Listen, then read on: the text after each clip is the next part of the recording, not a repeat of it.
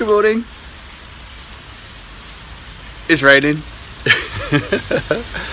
oh, this is the the romantic side of adventure that isn't often represented. You know, when the skies open and the thunder begins to crack, and you have to pull off the cycle path alongside the main road to seek shelter beneath an overhang of a budget supermarket. And it's so wet that you can tell that it's wet because people are just hanging out inside the foyer of Penny. That's not something that they advertise often either. Ah, day 13 of Journey 13. I don't know if this is part of it actually. Hopefully it will brighten up a little bit later. And we're in Hungary. We crossed over from Slovakia and Bratislava yesterday. So I am in Slovakia. And I am in Hungary. Jorgelt.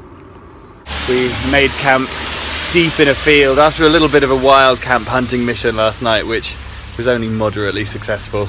Then, yeah, we went along the flood dike and found just this lovely, lovely little meadow. Em's had a little, uh, Episode. a little folly folly.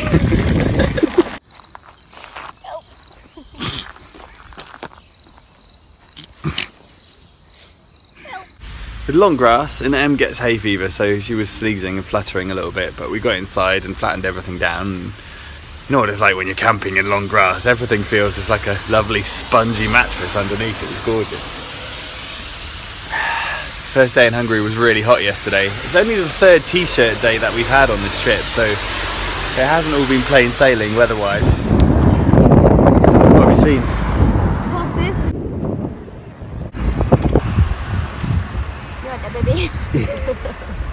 Just got nailed by a fly.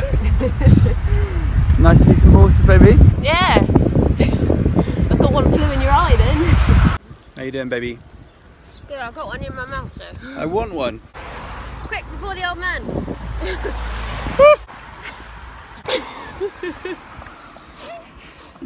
He heard it, didn't he? Don't he, ju- a, he jumped out of his skin. you don't need a bell. now, where are we going? We've got maybe 250 miles or so to go.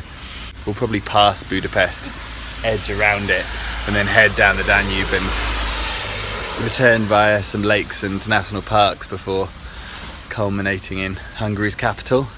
But despite this weather, spirits are high and very glad for this helium jacket from Outdoor Research, brand pimp.